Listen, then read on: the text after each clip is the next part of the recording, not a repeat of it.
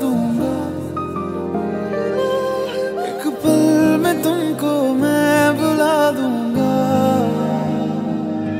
दिल तोड़ने की ये सजा दूँगा।